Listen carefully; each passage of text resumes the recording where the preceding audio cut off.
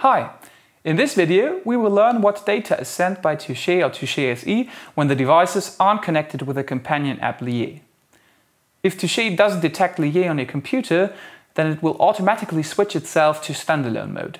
This means that it will work as any other USB MIDI class compliant device.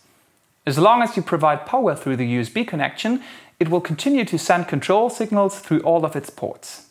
You could even just hook the device up to a smartphone charger, a power bank or any other USB host device with a strong enough current.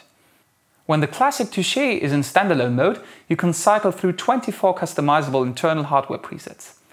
The LEDs use color coding to indicate which internal memory slot is active. There are six banks in total, each containing four presets.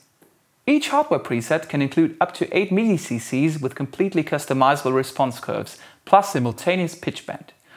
Also, a preset can be set up to send a specific program change message when loaded. That way, Touché can dial up the corresponding sound in the hardware synth that the mapping was made for. In addition to the MIDI configuration, each hardware preset also defines the four control voltages that the classic Touché can send. Voltages can range from minus 10 to plus 10 volts, and the response curves can of course also be adjusted in every little detail. In order to play a hardware preset in standalone mode, you need to have it saved on your Touché. This means you'll need to connect Touché to Lié ahead of time and transfer the presets that you plan to use. You can do this by going to Menu and then selecting Memory View. When you first purchase Touché, all 24 memory slots are filled with a default hardware preset that is pre-configured to send CC 16 to 19, one for each axis. We explained how this default CC configuration works in our last video about how Touché communicates when connected with Lié. In standalone mode, both the standard MIDI jack and the USB MIDI output will send customized messages as configured in whichever hardware preset you currently have loaded. Normally, you would hook up your hardware synth via the standard MIDI jack.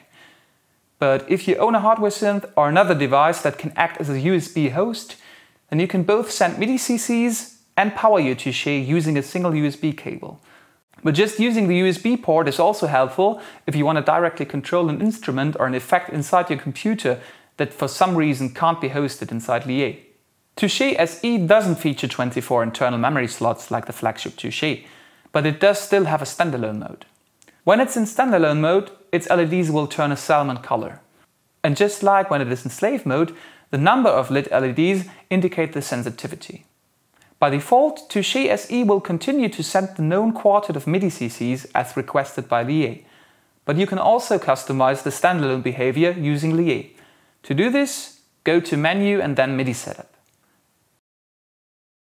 Just as with Touché, Touché SE standalone mode allows the device to be used not only with a computer, but also on any device that can act as a USB host. For example, if you know your way around Eurorack modules, you could hook up your device to an Expert Sleepers FH1 or FH2, translating the four MIDI CCs to all kinds of other control signals.